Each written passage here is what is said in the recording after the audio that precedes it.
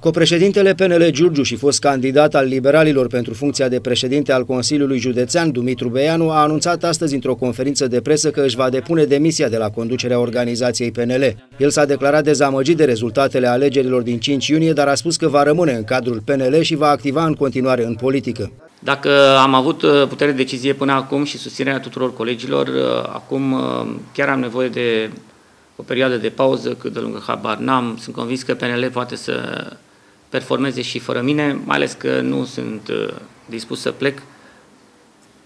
De parte de sediu voi rămâne membru în CJX și voi contribui atât cât îmi permit mie cunoștințele și experiența la un rezultat de altă factură la parlamentare. Dar are nevoie de alte condiții.